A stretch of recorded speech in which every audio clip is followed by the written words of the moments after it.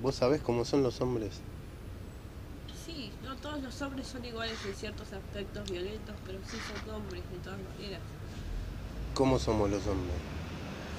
Unos pelotudos. No. o sea, yo quiero creer que no, pero Pero el tiempo confirma que sí. no se trata de eso, lo estoy tratando de salvar. Para... No, tenés que quedar bien conmigo, no, no me No, ofendo no, no, no, por... para nada, pero yo quiero marcar mis ideales. Yo no soy quien para decir hombre o mujer.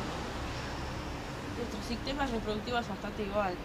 Las personas somos circunstanciales o patológicas o nos reapropiamos de una cultura de dominación, la destrozamos y terminamos ejerciendo una identidad real. No existe el cómo somos, cómo sos, cómo... Es, en realidad la palabra está bien la idea, es cómo nos hacen, digamos. Cómo nos hacen sistemáticamente a todos, hombres y mujeres. Hay Me podría un, tomar este mate y suicidarme. un sistema estructural. ¿Cómo? Me podría tomar este mate y suicidarme. No, no digas Yo quiero creer en cómo no. somos, en cómo nos creamos. Quiero creer, obvio. Lo deseo con toda mi fuerza. Pero al parecer es como. No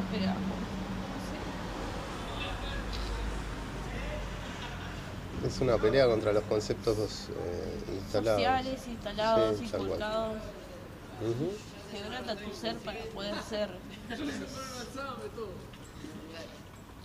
No, Lucas, toma como... Ya te haces. Un mate de cerveza que yo.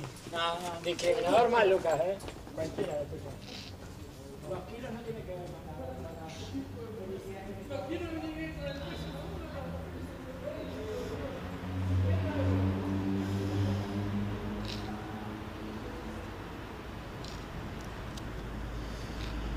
Eso que pasa continuamente así, un montón de jóvenes en esa situación, eh, es parte del mismo problema, me parece. Tal vez.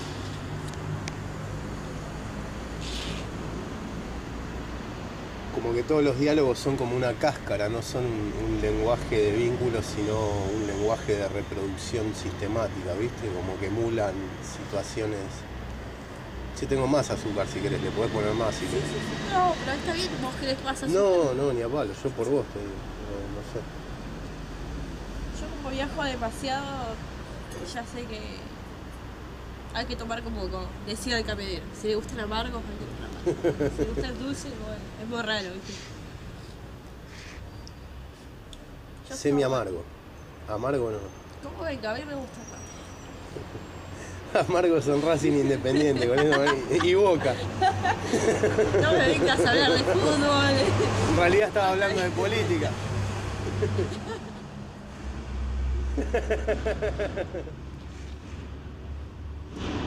Si me pongo a hablar de semiótica del arte te aburro también, así que si no te hablo me de parece fútbol, bien.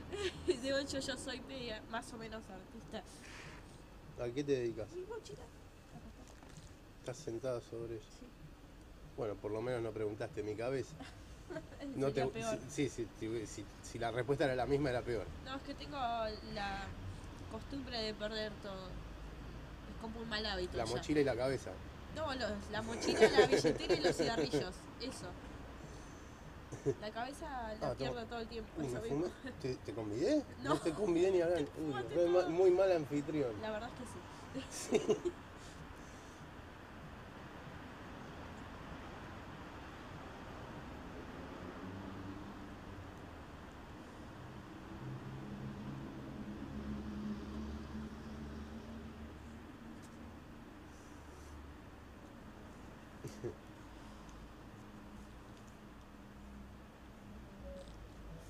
A mí me Son como- a ce- a cebar mate un paraguayo. Bien ahí. Están ricos. El paraguayo dice que tenés que tener un mate grande y no tenés que cebar toda la llave. Tenés que dejarla para después. Y no tenés que caer en la guerra de la triple infamia tampoco. Además. Sí. Bueno, pero eso no me lo dijo el paraguayo, lo aprendí en la escuela. Bueno, pero te, te lo tendría que haber dicho si es paraguayo. Y son bastante ignorantes, más que nosotros.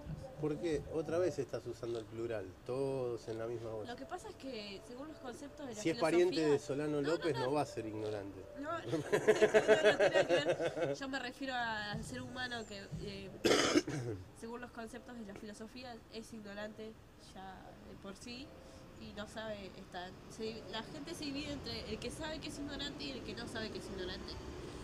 La gente se divide, lo otro es un agregado. También La gente se divide y la gente se une. es como género sin subgénero. Y nosotros somos entes sin gente. En este momento somos indigentes, fue una broma política. No querías que te hable de fútbol, no te hablo de fútbol, pero te aburro. Primero de fútbol. Ah, ¿Viste? Está ¿Viste? bien, está bien. Más terrenal. Enti- Entiendo más. Me considero una ign- ignorante y lo sé, por lo menos me río de No, ello. yo no, no te traté. No, es, No, pero es yo que sí me esa considero. división, ese es, lo que te estaba explicando con mis bromas es eso, es que esa división Sí. de gente ignorante, gente no ignorante, es, es, es una división como que me digas, eh, llegué a un país donde todos hablan holandés, yo no hablo holandés y todos te traten de ignorante. O sea, no, no es una, una apreciación muy... ¿Cómo te puedo explicar? No es muy heroico decirle a alguien ignorante, no, No no... es muy nacionalista ni importante para sentirse un ser uno mismo tampoco. Llamar ignorante a otro es un pequeño nacionalismo, pero no de una nación, sino de una, De una una, una cultura. pertenencia cultural, claro, claro. tal cual. Entonces, eh, para aplicar un- una clase de chauvinismo de esa índole, ¿querés que lo di- ponga en palabras más simples para que no suene Explicar como un pelotudo catedrático? Eh, Las cátedras. eh, no, que es como... En este lugar todos cantamos cumbia, el ignorante es el profesor de inglés también. ¿Por qué? Si sabe inglés. Pero no, pero bueno, pero no canta cumbia ni baila cumbia, ¿me entendés? O sea, eso de ignorante.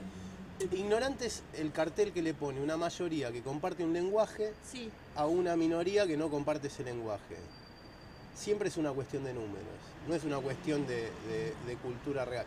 Podés pasarlo a, lo- a la cuestión de cultura real cuando hay una universalización de lo cultural, pero esa hegemonía está determinada eh, o por Occidente o por Oriente o por... o por- me, me explico, siempre, está, siempre está determinada por una mayoría.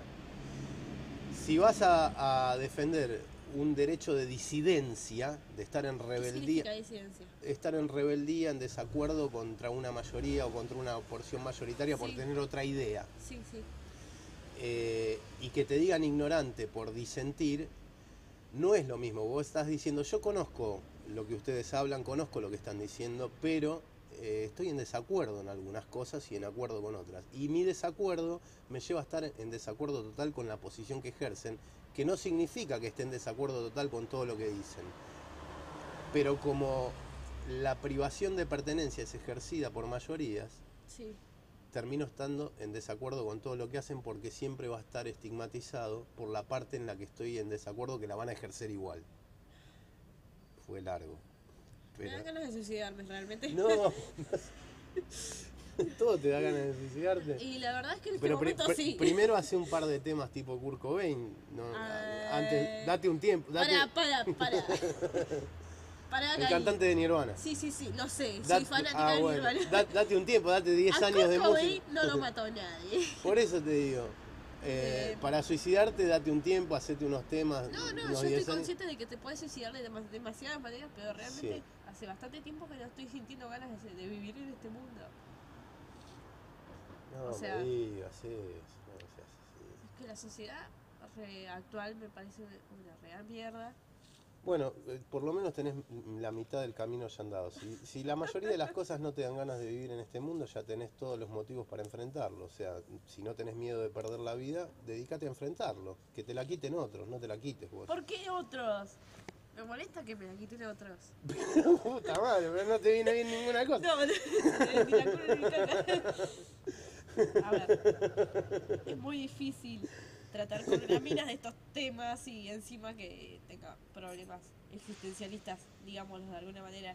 Bueno, Sí. ves, estás hablando de filosofía, de Sí. existencialismo. Bueno, lo que decía el muchacho este de que la gran pregunta de la filosofía era si la vida vale o no vale la pena. No sé por qué, la gran pregunta. Y porque eh, Sí, la porque- filosofía investiga rasgos de- del hombre no totalmente en sentido antropológico. La mayoría de las personas confunden filosofía con antropología, con economía social, por algún Es verdad. motivo que les conviene. Sí. Les conviene hacer esa confusión. Porque, porque de ese- no, no pueden vivir tranquilos. es que por esa vía de confusión lo pueden mezclar con la teología, con las leyes. y- ¿Tenés más azúcar? Sí, sí tengo más azúcar. Porque se ve que te gustan dulces. así que. No, pero no, no, no, no hace falta que esté muy dulce. Eh, no, depende. A veces tomo amargo, a veces tomo semidulce, a veces tomo dulce. Depende Igual ya está relavado. me. Sí, ya está relavado. ¿Querés que cambie la yerba? No, no, todo bien. ¿Por mí? ¿Por vos? No, por vos. Te estoy preguntando a vos. No, yo por mí. Si ya te conté que viajo con camioneros y tomo esos mates, es como. Toma cualquier cosa vos. Con camioneros, este muchacho Moyano. eh, No, no me hablemos ya. Tiene algo raro su sonrisa. A mí me parece un vampiro. sí, me parece que sí. Che, no hables mal de los vampiros, que yo hago personajes de vampiros en historieta. Cuando era pibe me dedicaba a hacer eso. ¿Dibujás? Sí, dibujo, escribo, pinto, asalto bancos, Yo también. en mi tiempo libre. Sí, sí, sí. Bueno, te sobra un ratito. No, lo de los bancos te lo debo, pero sí, me gustaría Me asaltar. mentiste. Bueno, pero... me eh, gustaría, dice. Si la economía del es- país estuviera tan mal, sí me gustaría. eh, no, ¿qué bancos vas a asaltar en un país que te asalta antes de que lo asaltes? 50 mil millones de deuda cuatro externa. pasos adelante tuyo. Sí, obvio. ¿Que- ¿A quién vas a asaltar? Es como el tema de Hendrix, al alón de Watchover. Ah, a lo largo de la torre de control. Va, que no es de Hendrix, es de Bob Dylan, pero nadie lo toca como Hendrix. Se murió y lo sigue tocando, imagínate. Se murió y así tocando. Imaginé a Hendrix caminando para acá tocando. Es ¿Sabías que que a Hendrix lo mató Eric Clapton? lo mató Eric Clapton. Sí. Es una conspiración resarpada. que a mí me terminó de convencer. Puede lo ser, porque es lento con las manos y Hendrix es rápido de manos. Y una vez eh, en un bar en Inglaterra, yo escuché esto en una entrevista donde estaba. ¿Estuviste en un bar en Inglaterra? No, ojalá. Ah, Escu- Escuché esto en una entrevista, no, no, no estuve ni tampoco. no, porque digo, qué, qué viaje largo que hiciste Sí, con el camión, ¿no? A dedo, viajo con camionero, llegaste a Inglaterra, la Haciéndole dedo a los puta. alguno. Un re viaje. Es- es- Eso no fue con, eso no fue con Faso. Eso es una, una cosa. Tenía que decir la palabra. Siempre se mete el paso las, las conversaciones. Pero es un, es un chiste Es un- sabido, es como, es como Es de cuando dice está hablando sí. de Faso. Es como, ¿Estará hablando de Faso, che? es una, es una, blo- es una broma que tiene tres sentidos. Sí, sí, obvio. Como cuatro o cinco. Sí, sí, es verdad, cuatro o cinco. Es como preguntarte si salís con Juana o con María, con las dos. Juana María. Claro, o María Juana. Sí. Tal cual. Juan María. Claro, sí. No, Juan no. Te agrade... No, por favor, deja... Pero Juan no, María No, era- no, déjamelo lejos, no. No, no, ya tengo... Ay, ¿qué tenés contra los trans? No, no tengo nada contra ellos, pero no tengo eh, el gusto de, de la particular elección de vida. ¿no? Eh, para mí es como dice el oso Teddy, o sea, no es una mujer, es un hombre con tetas. ¿No? Pero está todo bien. Cualquiera dice que soy un discriminador de mierda, pero no... Te estás cagando de risa igual, ¿eh? no. Ay, no Bueno. puede traer el pastel. No tengo nada, claro, o sea que no estás viendo mujeres, estás viendo un hombre con Son preferencias sexuales. te puedo- Está bien, pero Está bien, sí, sí, sí.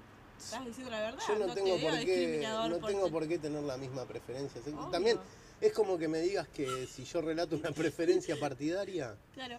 eh, estoy discriminando a alguien de otro partido. No, No, so- de- pertenezco a otra ideología, no, no, tengo, no comparto. la- ahora, Me parece, Ahora la- me parece que Lo que yo agarrarse buscaría es porque caíste justo en la conversación en la que están todos de acuerdo en, una- en un ideal y vos en otro.